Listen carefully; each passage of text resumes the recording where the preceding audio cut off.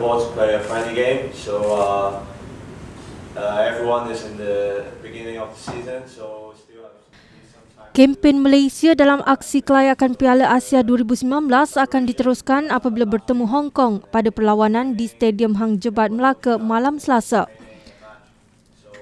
Pada perlawanan pertama, kumpulan B kekalahan 1-2 kepada Lubnan Jun lalu jelas memberi tamparan kepada harapan Malaysia untuk meraih tempat pada pusingan akhir di UAE. Harimau Melaya cuba untuk bangkit tetapi dua kekalahan berturut-turut pada perlawanan persahabatan bulan lalu iaitu di tangan Syria dan Myanmar dilihat semakin menambah tekanan dalam kem negara menjelang perlawanan kedua peringkat kumpulan itu.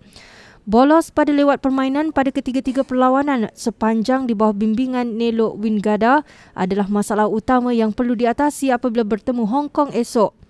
Sebagai salah seorang pertahanan berpengalaman, tugas getir Syahrum Kalam adalah untuk memastikan dia serta rakan sepasukan sentiasa fokus sepanjang perlawanan bertemu Hong Kong. Syahrum berkata demikian ketika ditemui selepas selesai sesi latihan pada Isnin. hearts.